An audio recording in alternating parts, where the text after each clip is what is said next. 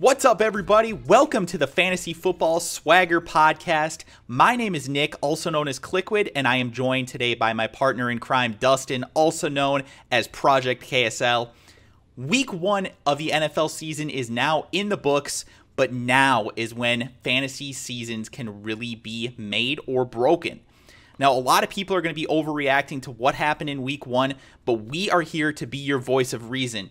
We are here to help you make the right decisions going forward and hopefully guide you to a fantasy championship at the end of the season.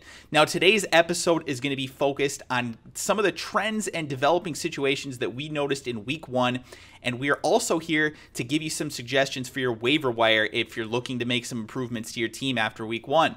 But the first thing that we are going to talk about today is the situation that's on everybody's mind, the thing that everybody is talking about, and that is, of course, the Ray Rice situation out in Baltimore. Now, for those of you who've been living under a rock and haven't had it on ESPN at all today on your TV, didn't watch Monday Night Football, well, Ray Rice was actually suspended by the NFL today indefinitely after the the Baltimore Ravens actually cut him.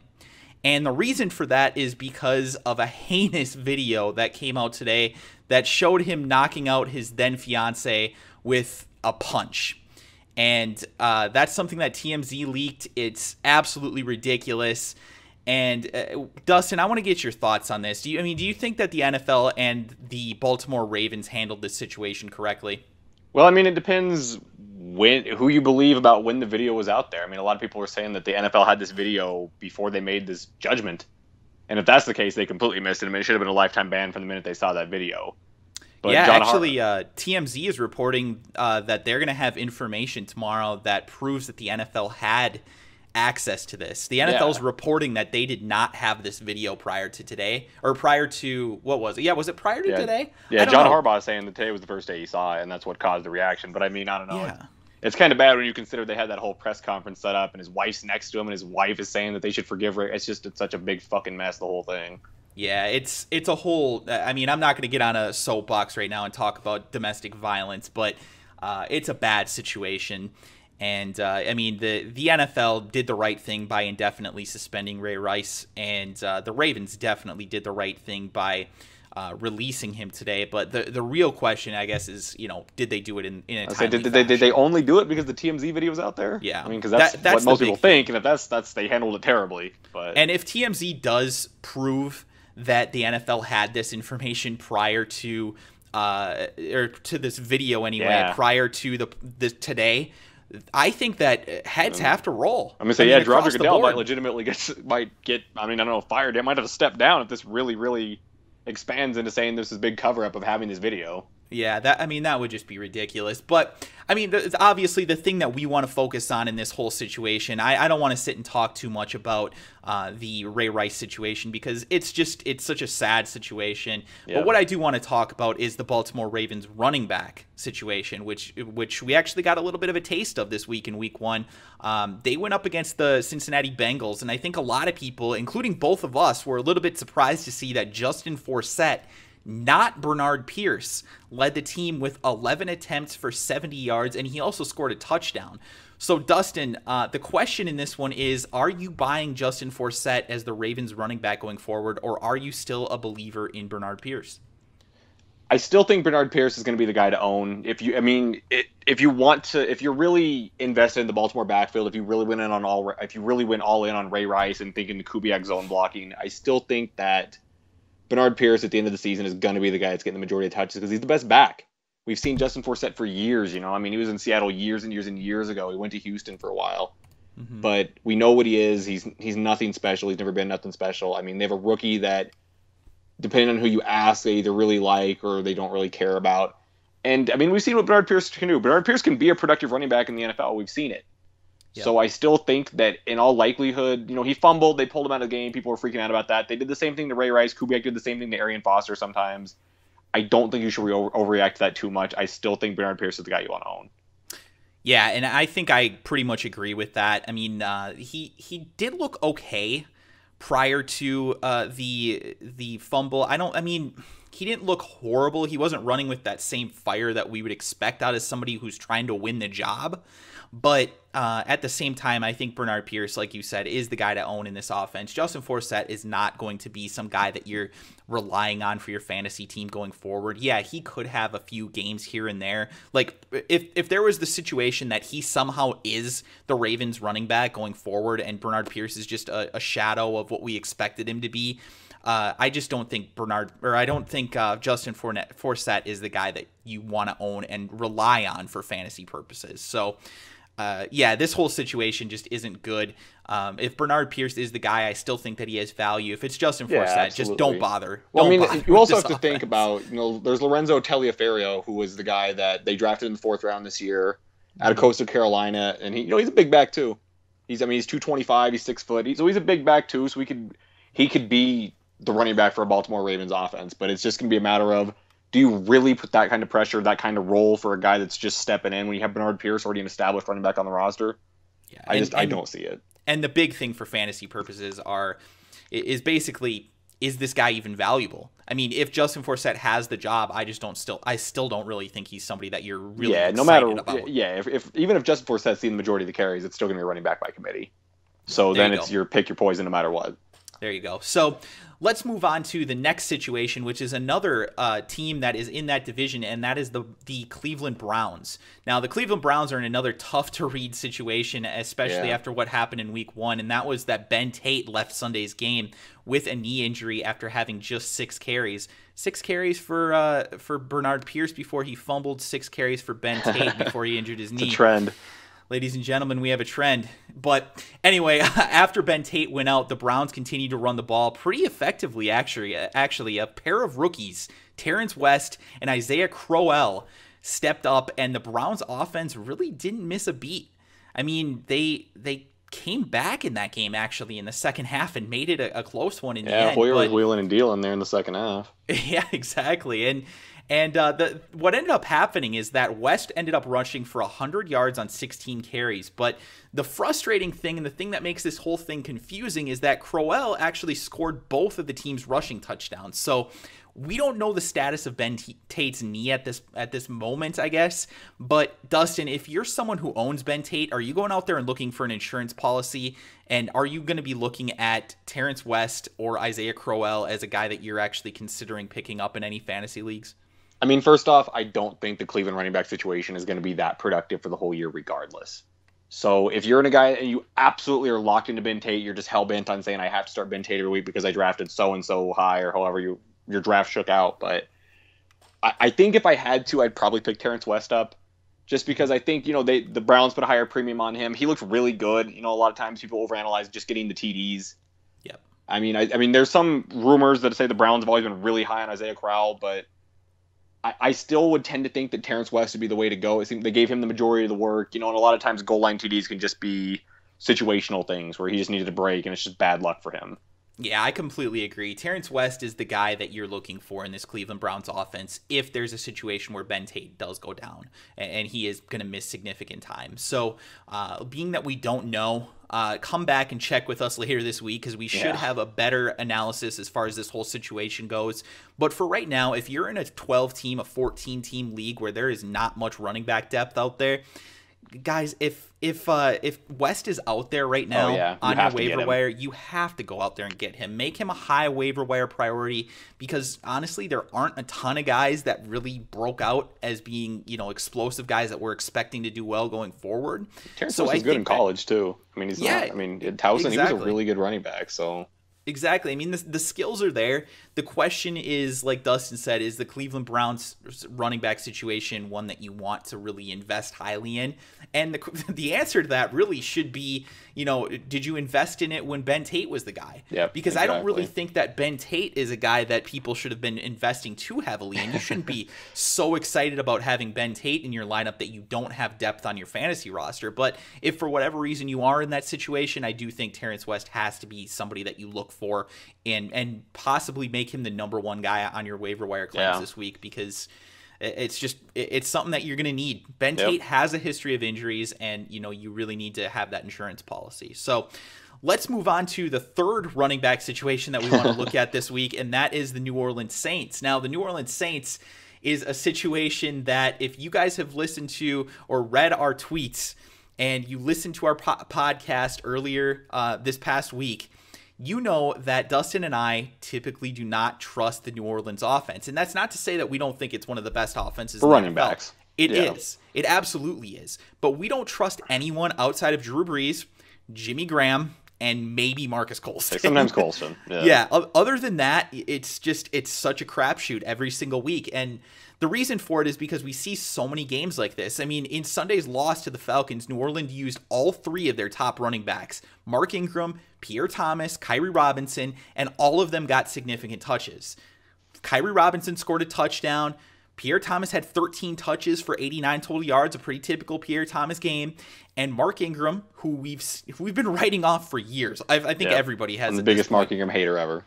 Yeah, exactly. And and he had 60 yards rushing and scored two touchdowns. Yep. So Dustin, I know we both like Pierre Thomas in, as a flex in PPR, PPR leagues. Yep. But uh, are we buying Mark Ingram as a legitimate running back going forward? You know, I, I'm buying a lot more than I had in the than I have in the past. I mean, I'll tell you that because I mean, just just watching him, it seems like he's finally running without just immediately looking to run into his own offensive lineman like he's done for the years. So I, I, I think so. Again, I, I'm not going to rely on Mark Ingram to be a week to week consistent score because I still think there's a good chance that they're just like, oh, we're going to throw Khiry Robinson out there and he's going to vulture the TD. You know, even if Mark Ingram's yep. going, I still think that's a, a, serious possibility every single week. So again, I I, I am a, I'm higher on Mark Ingram than I was three days ago, but I'm sure. not still super excited about Mark Ingram. I still think Pierre Thomas would be the back I'd want to own in PPR.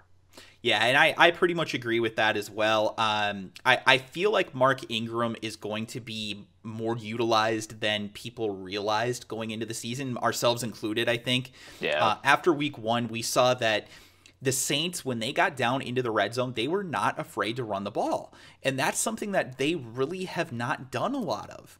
Um, mm-hmm. They had Reggie Bush, who had a, a double digit touchdown year.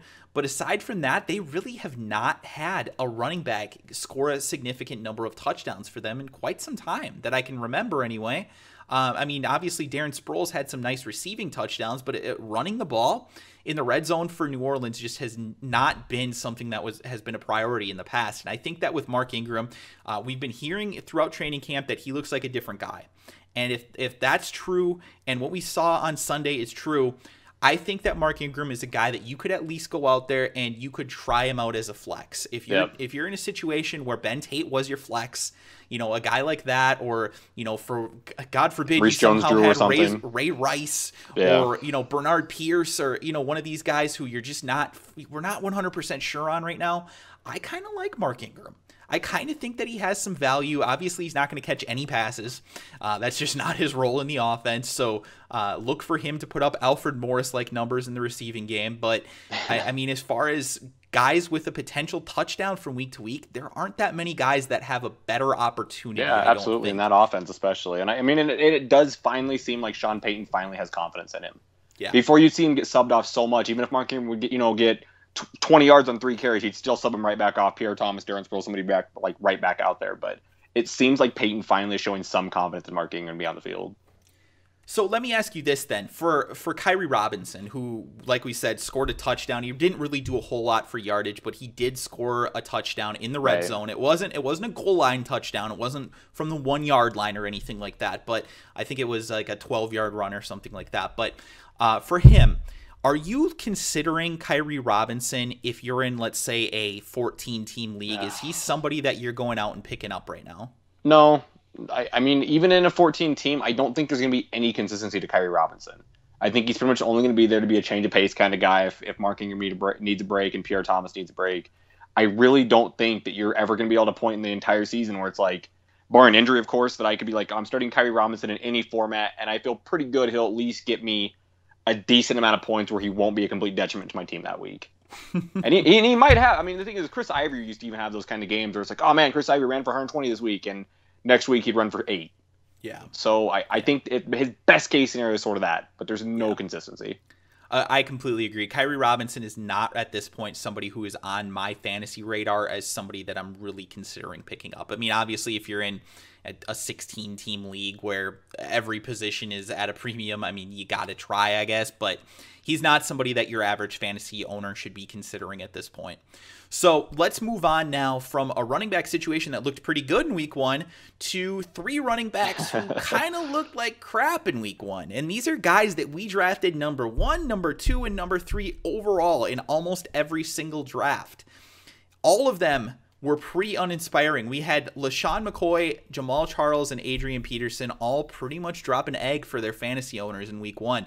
Now, LeSean McCoy did go over 100 total yards, yeah. so it wasn't all bad. But Adrian Best Peterson and Jamaal certainly. Charles looked just awful. Yeah. I don't know. I don't know if it was situational or what, but Dustin, are you concerned about these guys going forward, or is it just a case of a tough week, tough defenses that they went up against? I mean, what, what's what happened with these guys? You know, I'll, I'll say this: I, am not concerned with Adrian Peterson at all. He's going to be fine. I that offense I think is probably better than people thought, which will in the long term will be good for him. So I have no concern with Adrian Peterson. You start him every week, no question. LeSean McCoy, same thing. I think they just got to a bad start in Jacksonville. They rebounded. He ended up with a decent amount in PPR. I, I think he'll be fine. Jamaal Charles is the one you got to worry about because the Chiefs look. Oh my God, you're the worst team in the league. Bad. The, the, offensive line was the biggest train wreck. They might have the worst offensive line in football. They lost Derrick Johnson. He's done for the year. The secondary is, is would probably just get annihilated by like USC right now. They are a, a horrible team. Yeah. And I mean, I had them going five and eleven at the beginning of the year. I think if they hit that, then they've had a successful season right now. Mm-hmm. They're terrible. So Jamaal Charles, I mean, I expected from whatever he had 18, 19 TDs last year no matter what, I expected that to drop. But now seeing this, I'm thinking, oh my god, is he even gonna hit seven? So factoring that in with the fact that like they're just not gonna have that many scoring opportunities because they're so bad. I, I, think Jamaal Charles, I still really like in PPR because Alex Smith is a terrible quarterback. He's gonna throw him the ball as many times as he can because he doesn't want to make reads. But if you're not in PPR and you have Jamaal Charles, I'm probably panicking a little bit, seeing just seeing how bad the Chiefs were. Yeah, and I think that's fair. Um, you know, I, I think there's an opportunity for him to catch passes, like you said. Um, if the Chiefs do fall behind in games, which we both would agree at this point is pretty likely, and I think that the reality is starting to set in even for Chiefs fans, yep. at least some of them. The reasonable um, ones. Yeah, which which is like two percent. Seldom, but they they're there. Two to three percent. But uh, anyway, though, I, I think the the opportunity for Jamaal Charles to catch passes is there but I don't see him scoring double digit touchdowns this year. Yeah, I actually no didn't really predict that coming into the season, and that's why I had Jamaal Charles as my number three. I mean, obviously, I still think he has significant value in fantasy. I don't, I'm not hitting the panic button at this point on Jamaal Charles, but I'm a little bit worried. But I'm gonna actually disagree with you a little bit on Adrian Peterson, and I, it's not that I hate Adrian Peterson or anything, but I was expecting big things out of him this week, and, and I was really disappointed when I saw yeah, it. I, mean, I, watched a significant portion. Of it. Vikings were a good team, and he was still bad. That's the that's the one thing you. I guess you, if there yeah. is something to be concerned about, it's that. Yeah, I mean they scored. They won that game by 28 points. That's usually a recipe for a massive yeah, fantasy day for TDs. a running back. Yeah, yeah, and, and Adrian especially the with when the Vikings win games big, it's usually Adrian Peterson having a monster game. He had 75 yards. Yeah, he caught two passes. I mean, like eh, eh, we're not expecting massive things out of Adrian Peterson in the passing game, but I mean, my goodness, I can't believe that he wasn't more eh, that he didn't produce more, and it him. wasn't it wasn't opportunity. They keyed he on him. Carried the ball plenty, and, and obviously, yes, you focus on Adrian Peterson. I get that, but every team's going to focus on Adrian Peterson. That's yeah, that's not sure. going to change from week to week. So I'm a little bit worried about him. I, I, mean, if he comes out and drops an egg next week, I might be looking to move him before the rest of your owners in your league catch on. Yeah, I mean, he fair looked, enough point if it happens next week too. Sure. So, so that's that's my only concern with him. Now let's move on to a guy who I'm actually buying and that is Knowshon Moreno. Yeah. Yeah, I mean, no kidding. Moreno was a top five back in 2013, and the Broncos let him walk. A yeah. lot of people were expecting Lamar Miller to be the guy in Miami, yeah. but Dustin, I mean, you're pretty familiar with Knowshon Moreno. Tell me why you think he's going to hold on to this job and be a reliable fantasy running back going forward. In terms of three down backs and all around good backs in the NFL, Knowshon is is up there. I mean, he's not. He's Knowshon doesn't do anything elite other than maybe pass protection but he's very good at catching the ball. He's very good at running with the ball. He's very good at outside runs. He makes reads very well. He knows where his blocks are. He's a very, very good all around back. And Lamar Miller's had fumbling problems in the past. And while maybe he isn't that is quite the home run threat that Lamar Miller is, he's better in every aspect of the game than Lamar Miller. Denver had no business letting him walk for Montee Ball, who frankly looked bad when you consider how he actually looked with your eyes on the game yeah. uh, versus the Colts. And Knowshon's down there still, just churning it in, 100 yards versus the Patriots like it's nothing. He's just a, he's just a horse. I mean, it, everyone thought that it might be a timeshare. Nah, Knowshon's not losing that role unless there's an injury. He's a serious, serious good pick for anyone that had the uh, intelligence to draft him where his ADP was because he was getting severely underdrafted in leagues. Yeah, he was going behind Lamar Miller in yeah. leagues, most leagues, frankly. So I think that the the value is obviously there.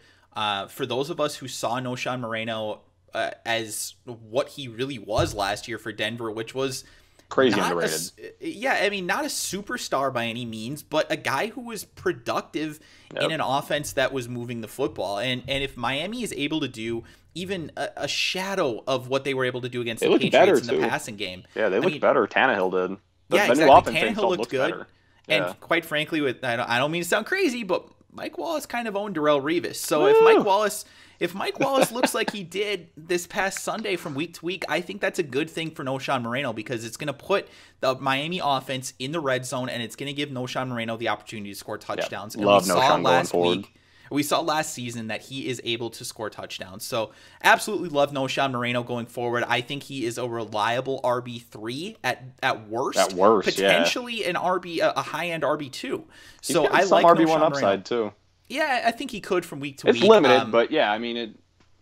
I, I, mean, I, don't like him over guys like Giovani Bernard, DeMarco Murray, and, and those kind of guys sure, who are going as, as RB ones. But I still think he's a, val- a very valuable fantasy player, and, he, and he's going to give you yeah, for his ADP, he's going to give you, he's definitely going to return that so long as he doesn't get hurt. So, yep. Another player that I'm really liking, and, and I want to talk a little bit about buy lows because this is kind of the focus for why we're doing a podcast early in the week. And we're going to also do one at the end of the week where we talk about the matchups a little bit more. But the reason that I want to talk about these buy lows is because they can really help you grow your team if you had struggles in week one. So, one guy that I'm really liking a lot is actually Knowshon Moreno's former teammate, Demaryius Thomas. Yeah. Like now, that one. I, I'm not sure that a lot of people are overly worried about Demaryius after just one game, but I, I, honestly feel like this is the lowest point that he will be at all season. I mean, he caught only four passes for 48 yards on Sunday. And Dustin, you know that oh, yeah. he is wor- he is way better than that. And he had a lot of drops that game. He just had a bad exactly. Night. Yeah, exactly. I, I mean, the positive from this whole game is that he was targeted 11 game or 11 times in the game.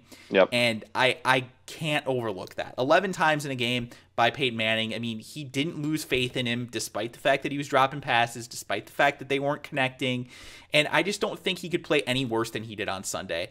I still think he is a lock to be an elite wide receiver for the rest of the season. Yeah. I mean, and when I say elite, I'm talking like top five. I think he's going to be three. an absolute monster this season. Mm-hmm and I know this might sound crazy to some people, but I'm telling you, if you have somebody like Antonio Brown who's coming off of a big game and is he looked really really good. I mean the the karate kick to the face on the punter was awesome.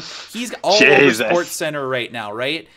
I think there are some leagues where you can move him for Demaryius Thomas right yeah, now. Some might, some people might take that, and I like that. I mean, if you can, t- if you can get Demaryius Thomas on the cheap, er, on the cheap for an Antonio Brown, like who, st- who I still like. Don't get me wrong, I still think Antonio Brown's a top ten wide receiver, especially in PPR. Yeah, but definitely. Demaryius Thomas has that upside to just blow the league up for you. And I don't think Antonio Brown quite has that type of talent. So that's why I'm saying Demaryius Thomas is one of my guys who I think you have to buy low on, mm-hmm. and he's just going to be an absolute monster. Dustin, who is your buy low guy for this week? There's a couple I think that I identified. The first one was Keenan Allen after the game he just had. yeah. He, I mean, yeah, he had a bad game in Arizona, and he had that yep. drop at the end of the game that's gonna be stuck in people's heads. I, I still think Keenan Allen is. I mean, he's an, he's damn near an elite route runner at this point. He gets separation. He's not that fast. You know, he's, he doesn't. He's not going to burn anybody, but he gets open. And he destroyed some teams last year, like Kansas City. He ruined their lives. And he I did. still, yeah, I still think there's going to be a huge. He's still going to be in for a big year in San Diego. I think that's going to be a very productive offense. I, I think that the they Cardinals didn't look great though on Monday night. Cardinals are a good defense, man. I mean, Pat. I mean, he was also uh, Patrick Peterson shadowed him for a lot of the game. Patrick Peterson's an elite corner. I think there's a whole lot of upside with a guy like that still, and some might, people might just be like, "No, I'm I'm terrified of him now." because Yep. he did that to me. I think there will be a lot of people who are benching Keenan Allen next week. Yeah, and- exactly. And, sitting him for a guy like I, I mean I, I don't mean to throw out just random names, but I mean like sitting him for a guy who broke out like an Allen Hurns, you Yeah, know, or you know something like that, where it's like Keenan Allen didn't do much for me in week one. I'm gonna overreact. Don't do that. Yep, do don't be that be guy. that guy. yep, don't be that guy. So we talked about buy lows. Do you have somebody else you want to mention? No, I think I think that's it.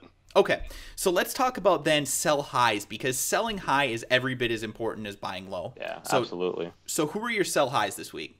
Number one I have is Steve Smith because I I don't think Steve Smith is that good. he had 15 targets, he had seven catches. I mean, Joe Flacco threw the ball like 60 times. I that you have to think that doesn't happen again if the Ravens even want to even want to win four games this year. The Ravens just look distraught. They look terrible. So I, I think that, that that in all likelihood is not going to be replicated. We know what Steve Smith is at this point. We know what Joe Flacco is at this point. Dennis Pitta also caught a thousand balls that game. I don't see that happening. And then another guy, just I mean, not, not necessarily a sell high, but if I own RG three in any leagues, I am offering him up for whatever I can get because holy shit, that guy looks bad.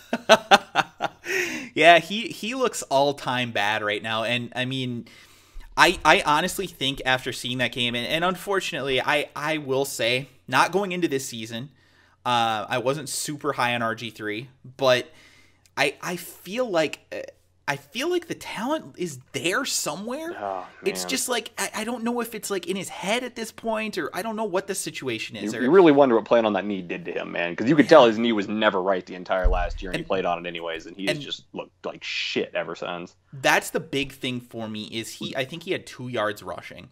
Yeah, I mean 2 yards rushing is the type of numbers that we expect out of Peyton Manning where Carson it's like Palmer. okay, Yeah. he he scrambled and like stepped out of bounds when he when he bootlegged one play or something, you know? And he gained a, a, a random 2 yards on accident practically. That's what we got out of RG3. And you draft RG3 with the idea that he's going to potentially Yeah, it's the pull in rushing. 100 yards for you at some point. And Yeah, that's just rushing. not going to happen. no, they're trying to keep him in the pocket. They're not letting him move at all. Yeah. So if you're not So- if you're not counting on any rushing, and he's just not a good passer, so get rid of him for whatever you can get. If anyone offers you anything, you move him. I, I completely agree. Now, I will say one thing about that offense, just one quick thing. Pierre Garcon, man, he looks freaking awesome still. Oh yeah, I don't know how He's he's, still productive blanket. in that offense, but Yep. man, he looks really, really good, and I'm I'm loving Pierre Garcon right now. Yep. But for me, selling high, and this is one who uh, I, we've talked a little bit about two guys who, uh, uh, well, one guy Steve Smith who blew it up, and another guy who. Uh, RG3, who both these guys we weren't really expecting a whole lot of coming into the season. But for me, a guy who had a ton of hype coming into the season was Cordarrelle Patterson from the Minnesota Yeah, Vikings. Absolutely, new Josh Gordon, in everyone's mind. Yeah, he's he's the new Josh Gordon, guys. He's gonna tear it up. Okay, look, week one. If you had him in your fantasy lineup, you are happy as hell. The guy had a big game. He had what, uh, a hundred and something yards of total offense. He scored a touchdown. But guys, this situation is not something that is going to happen every week. The guy had a 70 yard touchdown run. Touchdown run. Do you think that that is uh, something that is even moderately sustainable? Yeah, Uh, no, it's no just chance. it's not. I'm sorry, and it's not like it was like some crazy end around where they faked it to Adrian Peterson. No, Cordarrelle Patterson lined up in the backfield and took a pitch. Yep. I mean, it's He's like nasty though, but yeah, seventy yards. super super talented. Don't get me wrong, but the bottom line is that you draft Cordarrelle Patterson because you think that he's going to be a big time receiver. Okay. I want you to look past that 70 yard touchdown run and just imagine for some reason that He they tackled for a two yard gain or something. yeah, it gets tackled, or they had a false start on that play because the people, the guys were too excited in the huddle and they just couldn't, you know, they couldn't get it down or you know whatever. But look, imagine that that happened. That 70 yard touchdown run was negated. Okay, just just try and put it out of your mind. He had three catches for 26 yards in that game. Three catches for 26 yards. They won that game by 28 points. Guys, if you think that Cordarrelle Patterson is a wide receiver one right now, you are out of your freaking mind. Yep. I'm sorry. Cordarrelle Patterson has the skills, but Matt Cassel is that team's quarterback right now. I mean, eh, there is not going to be wide receiver one upside out of anybody in that offense. I'm sorry. It's just not going to happen. He had five targets on the day. Five targets is the type of numbers that you would expect out of a, a wide receiver three for most teams. So I don't like Cordarrelle Patterson. I, I don't like him going forward as far as where his current value is. I think that you can sell him yeah, for a good number right now. I think you can get a lot for him. I would absolutely recommend it. I, I don't see this type of production being sustainable for him in this offense. So with that being said, I want to continue to talk about players who are uh, ones that you should be thinking about adding to your offense. So let's look at the waiver wire acquisitions for this week. Big time guys who tore it up in week one and guys who are stepping into good situations for whatever reason. Starting off with the Jacksonville Jaguars, who for half of football looked like they were a pretty legitimate team. and I mean, they were blowing out the Philadelphia Eagles in the first half of that football yeah. game. And that came a lot because of their two rookie wide receivers, Allen Hurns and Marquise Lee. Now, Allen Hurns actually made four catches for 110 yards and two touchdowns in that game, while Marquise Lee made six catches for 62 yards. The targets were interesting. Allen Hurns had nine, Marquise Lee had 10. So it was pretty well distributed. But the the real question here is is Allen Hurns the guy that you want to a, guy that you want to pick up, or is Marquise Lee a guy you want to pick up? Or are we both, or are both of them kind of being overhyped at this point? And Cecil sure. Shorts is supposed to be back soon, so yeah, exactly. You know, what what's the situation in your eyes?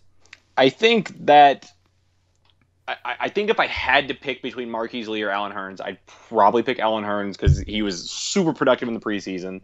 Mm-hmm. He has elite speed, and the Jaguars just raved about him all camp. It seems like he really, really has found a niche there. So I think that if I had to choose between those two, I'd choose him over Marquise Lee, frankly. But Cecil Shorts wasn't there. Cecil Shorts is going to come in. He's going to have his role in that offense. They're very high on Cecil Shorts still. Yep. And Cecil Shorts is a good receiver. And I mean, and Henne's played with Cecil Shorts in the past too. So I think that you have to keep your expectations to a, uh, a minimum with those kind of guys. I would not be starting them next week until we see more. I mean, if Allen Hurns goes out there for the next three weeks and keeps dropping these TDs and big yard games, then yeah, I mean, you probably can. But after one week, I would not be the guy that's out there starting him immediately. You really got to wait and see with a player like that, especially on a team like Jacksonville. I completely agree. I think that you're you're tentative about a guy like Allen Hurns. Um, I definitely like him more than Marquise Lee at this point, despite the fact that Marquise Lee was targeted one pick. more time. Yeah, and he was a second um, round pick too. Yeah, and he was the higher draft pick as well. So I mean, at this point, we've seen that happen before. Um, I, mean, we can go all the way back to the point where I, I believe it was Bryant Johnson and An- Anquan Boldin were drafted in the same draft class one, yeah, at one point. Anquan Boldin just tore it up. Yeah, and Anquan Boldin had one of the best rookie wide receiver seasons of all time, and Bryant Johnson was pretty much somebody that you can completely forget about. Yep. Um, so, I mean, it, it, we've seen these situations happen before, and it's not out of the question that one rookie outshines another in training camp, despite the fact that he was drafted significantly yeah, later. Sure. I mean, it happens all the time. You can't teach speed, and Allen Hurns is fast as hell. So yeah, there you go. So, I mean, that that's something that I I think that if you're in a a 12 team league. Allen Hurns might be somebody to look at, but yeah, if you're in a 10 team but... league, if you're in an 8 team league, eh, I'm not super excited about it. I mean, obviously, if you've got somebody on your roster that just dropped a goose egg on you that you weren't excited about in the first place, go ahead and drop them and, and take a chance on Allen Hurns. Worth a shot, certainly. But don't be expecting anything. Don't send him out there next week and then complain when he goes three yeah, catches exactly. 30 yards just don't do it. just don't expect anything out of him at this point. And I think you'll be okay. Yep. So let's move on to somebody that you are pretty high on and somebody that I, am not so sure on. uh, and that's Benny Cunningham of the St. Louis Rams. I, I know he touched the ball nine times to Zac Stacy's 11 this past week, but tell me more about what you like about Benny Cunningham, Dustin. I think Benny Cunningham's a little bit of an underrated running back, to be honest with you. I mean, I was I was the guy in the preseason that was thinking I don't like Zac Stacy. I don't like him for his ADP. I didn't think the Rams were going to be that good as far as scoring the ball. And now with the way the Rams look versus the Vikings getting blown out like that, I think it really might come down to the guy. Who do you want in the passing game? And Benny, Benny, Benny Cunningham is gonna get the role in the passing game every single day over Zac Stacy. Again, I'm not dropping Zac Stacy or anything. I'm not panicking. You have to wait. You have to see what it plays out a bit more. But I certainly think at this point, right now, with the touches being that close, I think Benny Cunningham has to be rostered with an eye of thinking like, if they really go down the drain and you are relying on the St. Louis backfield for your fantasy squad, Benny Cunningham should probably be rostered just to see what happens with him in the passing game and Zac Stacy, frankly, and how the touches distribute throughout the rest of the year. what do you think is the realistic possibility that Benny Cunningham is the the better to own fantasy player going forward between the two of them? I mean, uh, what would you give the odds? Would you say there's a a 10% chance I, that I happens, mean, 50 it it all depends how the Rams season shakes out. I mean, if the Rams are an abysmal team, if they don't get a quarterback and it's Austin Davis and Shaun Hill, and you're looking at them being down in all these games, Zac Stacy is not a three down back. He cannot play at three down role. So you have Benny Cunningham out there who can catch passes. He's not bad in pass pro. You can throw him out there, and you know he's probably going to catch some balls and he's probably going to make some yards. Again, I'm not starting him this week, but if you are tied to Zac Stacy, and in the case of a Zac Stacy injury, he's definitely the back to own. Sure. So I think that there's a, there's a good enough point to own him just for that nature. If you are heavily invested in Zac Stacy, I mean, he was going as a second, third round pick in most leagues, which yep. is crazy. And they look so bad. They scored six points. Yeah, against I the just, Vikings. Yeah, against Minnesota, I just I can't see them being a great team this year. And if you're looking at any team that's that bad on offense, you're going to want the guy who's going to be out there late in the games when they're down. So I think Benny Cunningham is going to have a role in this team for the whole year. Whether or not I think he outscores outscores Zac Stacy or anything, I don't know. I still think goal line duties, worst case scenario, Zac Stacy's going to get all of them. Zac Stacy's not a bad player. I just think that his ADP was so crazy inflated off of people just assuming things. And I think Benny Cunningham could have a role in this offense for the rest of the year. Fair enough. I, I would pretty much agree with that. Um, I, I mean, I was higher on Zac Stacy than you, obviously. Yeah. But uh, I mean, I, I don't I, I never viewed him as somebody that I was going to rely on as an RB two. Yeah, nothing and, wrong with you haven't passed that. But if you were one of those people that's I I'm Zac Stacy every week RB two, that's a horrible situation for you right now. Yeah, agreed.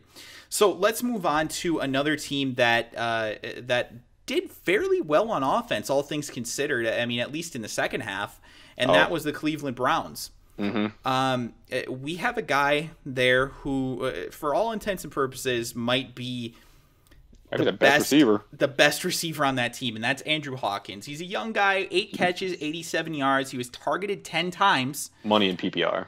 Yeah, and, and that's the thing is, I I feel like there isn't a lot to love about the Cleveland Browns right now. Um, well, Hoyer, Hoyer didn't look bad the second half. Hoyer looked pretty good. He looked okay, but you're not going to start Brian Hoyer in a fantasy league. Oh no.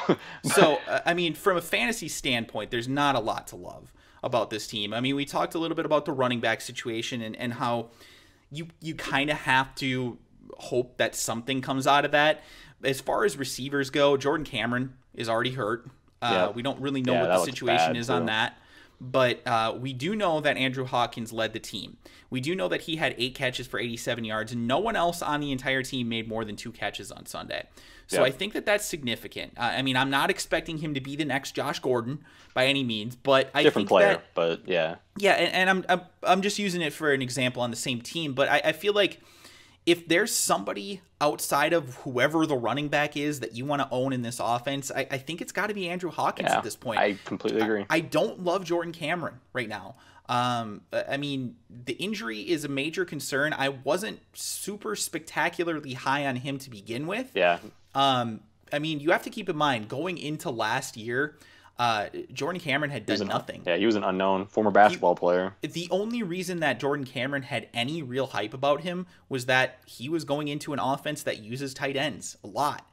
That offense has changed in Cleveland now, and, and I still think that Jordan Cameron has value if he's if he's uh, uh, not injured. But considering the fact that he is hurt, I think that Andrew Hawkins has a real opportunity to be a decent PPR depth receiver. If you're in a big league where you start three wide receivers and a flex, you know, he could be your wide receiver or your flex. Yeah. Uh, your wide receiver three or your flex. Let's talk about another guy who could potentially fill that role, and that's a guy from San Diego. We yep, were a little bit guy. disappointed in what we saw in Keenan Allen, uh, but I mean, obviously you you like Keenan Allen going forward, but you yep. like the whole San Diego offense going forward. And yep. there's another guy there at wide receiver who you're pretty high on right now. Yeah, I'm I'm really high on Malcolm Floyd. Like straight up, I I think that you can't teach chemistry between players a lot of times, and those guys, Philip Rivers and Malcolm Floyd have chemistry. They play together forever. And anytime Malcolm Floyd's been on the field, he's seen targets. He's seen a good majority of targets from Philip Rivers. He was targeted uh, more than Keenan Allen. Straight up, he? yeah, yeah, oh, yeah, absolutely, yeah. He had more catches. Yep. I or no, was he at the same amount or was he one less? Uh, I'm not sure. Uh, Either way, he caught the TD and he was yeah. targeted. I mean, Philip Rivers threw to him a lot. So I I think that he's certainly a guy. If I have a high, or I mean, not even a super high waiver order, but if I need wide receiver help and I'm looking for a guy I have to start this week, I'd probably prefer start Malcolm Floyd over a guy like Allen Hurns for week two. I think you can kind of a lot more consistency out of that guy. I mean, there's also, I mean, especially considering Ladarius Green like a complete non-factor. Antonio Gates is still out there doing good, and I think it's going to be Antonio Gates, Malcolm Floyd, Keenan Allen are going to be the guys to own in that offense for receivers and tight ends. I think it's really interesting that you brought that up about him over Allen Hurns. And the reason that I say that is because Malcolm Floyd has been a guy who has been hyped up for years and years and years. I mean, all the way back to when Vincent Jackson was yeah, when he left. one of the top receivers in the league. And he was there and he was performing at a high level and we were like okay well this guy malcolm floyd looks like he's a pretty good compliment to vincent jackson and then it just never panned out. And then right. vincent jackson left and then everybody was like oh he's going to step in and take the vincent jackson role and it never happened. And then he was hurt. And now we see that he is still an important part of this offense. And the question i think to me is uh, you you're high on malcolm floyd. You think that he's somebody that you could own. Um, how confident are you to start him I mean, like, eh, eh, where where would you rate him? I mean, if you're in a ten team league, let's say, is he somebody that you start as a wide receiver three? Is he a top thirty receiver this week? This week, who do they play this week? Who does San Diego have this week? I don't know. I'm, I, I mean, just I'm saying mean not general? necessarily. I am talking. Yeah, I'm talking about going. I mean, going forward, is is Malcolm Floyd somebody that you're relying on as a top thirty receiver? I mean, no, probably not. But I, I, I it wouldn't surprise me if he is that, though. It really wouldn't, because like I said, he has the repertoire already. With he already has that with Philip Rivers. Okay, sure. And I, I could certainly see. I mean, maybe I'm wrong on Keenan Allen, and you shouldn't buy him, but I, I think that that offense is going to be good enough to sustain those guys. The only thing about Malcolm, only thing you have to worry about with Malcolm Floyd is that he's been hurt a lot. True. So I mean, if you are going out there and get him, I don't think it's that big of a risk, no matter what, because he's a waiver wire guy for Week One. So if you get him and he doesn't pan out, it's not that big of a deal. So you know. But you're telling me though that you would have him higher on your waiver priority than Allen Hurns for week one. Yeah, no, I probably would. Okay. Yeah. Sure. I, I mean, I'm going to say that I disagree with that, but only because I've seen what Malcolm Floyd is. And I, I believe that Malcolm Floyd is, uh, this is, comes back to a, fantasy philosophy that I have. And that is that we kind of know what Malcolm Floyd is. And he's going to be a consistent pass catcher. He's going to be a guy who puts up decent numbers but he's going to disappear a lot of times. Okay. And the question to me then is is he somebody that I really want to put in my fantasy lineup? Let's say he gets me 10 points a week. Okay, 10 points a week, not bad, but it's never really going to put me over the edge. It, it just and, it really depends what your situation is like. Right. I mean, if, if you are out there and you're drafting guys that are just all falling apart on you early on and you or you really didn't put any type of precedent on getting good wide receivers. I mean, if you're out there week one and you're starting a guy like, uh, let's say you're out there week one and you're starting a guy like um, Doug Baldwin or something, you know, like Doug Baldwin and uh, Aaron Dobson are your receivers or something. Like, I could certainly see you getting a guy like Malcolm Floyd and being like, you know what, yeah, I, I feel like I could start him. But yeah. if those that have a good right, I mean, if you have like an Alshon Jeffery and a uh, Percy Harvin and even an Eric Decker, like, no, I'm not playing over any of a caliber of that kind of guy. Yeah, and that's that's the situations that I'm trying to uh, portray here because I think that if you're in a situation like that where you have good wide receivers and you don't need to rely on this guy every week, yeah, no, I, I like a guy who has a little bit more upside, like an Allen Hurns. Yeah, Hurns has more upside, absolutely. He has a whole lot so, more downside, I think, too, though. Yeah, and that's the big thing. He does have the downside of never again catching a pass basically. Yeah. so i mean that that's the unfortunate situation with a guy like that. But uh, sometimes you got to take those chances. You know um, not a lot of people were super high on keenan allen coming into last year. But guess what? Keenan allen balled out. So Chargers, the whole lot were a lot better than people expected last year too. True true, true. But uh, I mean that that's the kind of thing though. You you have to take those chances from time to time. Um, I'm I'm not super high on Al- Allen Hurns, but I think that those are the kind of guys who can potentially yeah, make worth or taking a shot on. There's season. no doubt, absolutely. I, I don't really see Malcolm Floyd being that. I mean, so, history tells there's a guy every year. I mean, yeah. Peyton Hillis, Victor Cruz, you know, whoever it may be, Jordan Cameron, J- Julius Thomas. There's a guy every single year after week one that gets picked up in the majority of leagues and he's probably going to have a really good shot to win your league because there's just a guy like that every single year. Yep. So I mean, Allen Hurns might be that guy. I mean, Andrew Hawkins might be that guy. Benny Cunningham might be that guy. You just don't know. But one of those guys this week that you will pick, that is going to get picked up, in all likelihood, is going to play a huge role in the season. Absolutely. That you're right. That seems to happen every year.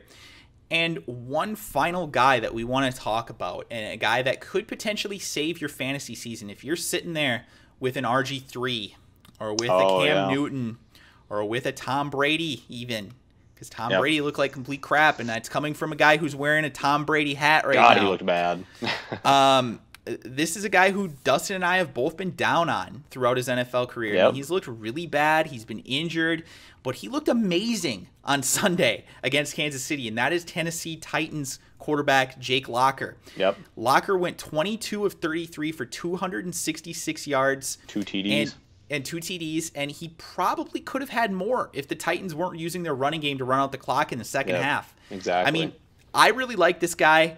I think that he his two top guys, Kendall Wright and Justin Hunter, I, I think are very, very good receivers. yeah, Justin um, Hunter looked really good. Justin Hunter is getting Crazy physically talented. He's getting ridiculously overhyped by some certain people, but um, I'm not going to throw any under anybody under the bus, Ryan. Um, but uh, yeah, no, Justin Hunter is he's an absolute beast though. The guy has the physical skills to be an, Yep. a, a leg- legitimately top ten receiver. Yeah, And Nate. Washington is still there. He can still make. And he's still plays. consistent. Yeah, he's one of those guys that you can throw out there every single week from not necessarily a fantasy standpoint, but from a team standpoint, feel pretty Yeah. okay.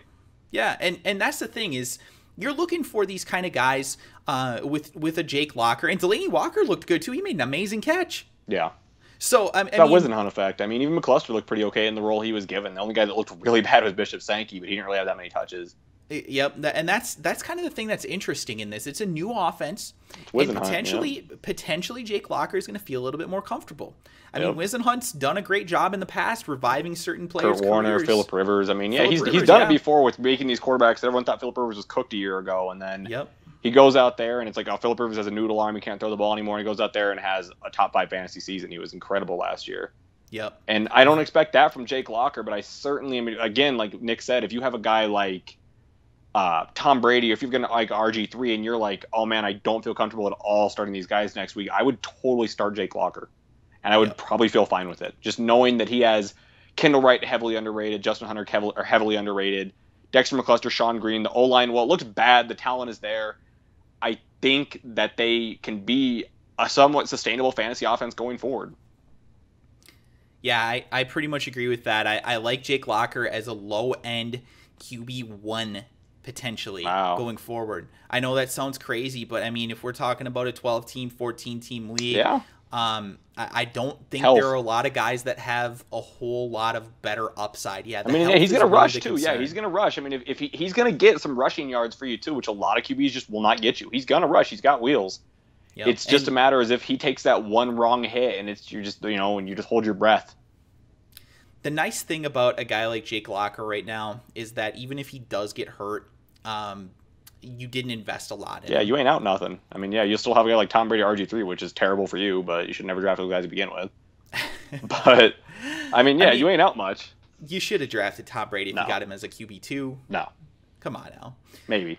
But I mean, I I mean- I- we, he was terrible last year. I mean, straight up. I mean, he was He god was. awful. He can't throw the ball anymore. He, he can't. He can't hit the throws he needs to hit. And I don't know if that's just indicative of, of Cameron Wake and you know their offensive line was getting a train wreck, but the offensive line isn't that good to begin with. So I don't know, but I would be panicking if I had Tom Brady too, just like RG three. Yep, and I agree, and that's that's the type of situation. If you've got Cam Newton too, Cam Newton missed week one with the injury. Yeah, and that ain't gonna Um, go away. He got broken ribs. Yeah, that's the thing. We don't know what exactly what the situation was is with Cam Newton going forward, and I mean, it sounds like I mean he looked pretty like he was running around laughing his ass off on the sidelines and stuff. I mean, he looked to be in pretty good spirits, but the thing is, you take one big hit on even bruised ribs. If you've ever had bruised ribs, oh my gosh, it's Yeah, like he's you, got broken it's like ribs. you can't breathe. Yeah, and he's got And- broken ribs. Yeah, and he's sitting there nursing broken ribs, and he's gonna have to throw with that. Gonna wear a I mean, flak imagine, jacket, but- imagine that. Imagine stepping back and with broken ribs trying to throw a football down the field. Yeah. That And that running, would be incredibly difficult. I'm even more worried about his running potential now going forward now because I mean they probably aren't going to risk him at all. Yep. So I mean you really, really, I mean he might be a sell low slash high candidate too. Really, Yeah, I, I don't I know if think that's. I, I think that's very legitimate. I mean, you and I were were saying uh, this past week uh, on our show that we did that we liked Cam Newton but only because we were comparing him to like Josh, Josh McCown. McCown. Yeah, it was Josh McCown. And- He looked unbelievably freaking bad, but Yeah, and and and the thing was is uh, we obviously made that analysis before we knew that Cam Newton wasn't going to play in that game. Right. Obviously, we hope that that person uh, decided to play Josh McCown and at least get some points out of their quarterback position. But um, at, at the end of the day. Cam Newton is somebody who has the physical skills to be a top five fantasy quarterback. He's done it multiple times, but we do not Never done it know broken what the situation is with him, and that's why I like a guy like Jake Locker to be your complement to him. He, Yep. You don't have to invest anything in him really. You just you get rid of the worst guy off your roster. A lot of people, for whatever reason, decide that they want to roster two tight ends, roster two Yeah. defenses, two kickers. eh, don't want to get Kenbrell Thompkins. Throw those guys off your roster. Stop it. Aaron Dobson, dude. Get rid of your he's gonna do it get rid of your year. Christine Michaels. Okay, like we don't need these guys right now. You don't now. need to be okay? smartest guy in the room anymore. Just take Jake Locker and see what happens. Exactly. Just roll with Jake Locker this week. See what happens because you're obviously you're in a tough quarterback situation if you're listening to this. So, um, I I mean, if this situation is is uh, one of the ones that you're in with Cam Newton, RG three, Tom Brady, somebody like that, just go ahead and try out Jake Locker. See what happens. I I think that you're going to be happy with the results. And if he doesn't produce big numbers, you cut him. Yep, I mean, exactly. you're out. You're out nothing. thing. Yeah. You're So, out guys- like Aaron Dobson. Exactly. So that's pretty much going to do it this week for this episode of the Fantasy Football Swagger podcast. I hope you guys enjoyed it. If you did, make sure you let us know in the comments section below and by hitting that like button. If also, if you're new to my channel, make sure that you hit that subscribe button. We're planning on doing plenty of podcasts throughout the season. We're going to try and do two a week if things go well, but uh, we'll see what happens. Now, if you guys have any questions about your lineups this week and you're looking to get any trade advice, any help on the waiver wire, any questions at all about fantasy football, make sure to dro- drop us a note in the comments section below because we would love to answer those questions in our next episode. They will be featured. So uh, definitely do that. We hope you guys had a great week one. Good luck in week two, and be sure to tune in this weekend because we will be back again previewing week two here on the Fantasy Football Swagger podcast. Thank you guys so much for listening, and we will talk to you guys again later this week. Bye bye.